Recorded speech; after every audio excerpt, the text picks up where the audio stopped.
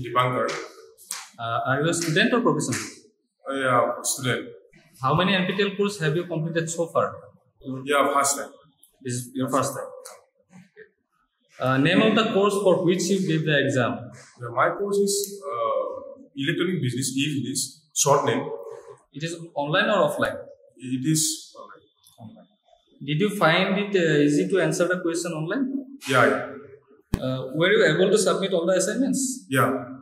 How do you plan to use the certificate? I am using this certificate in the future. Hmm.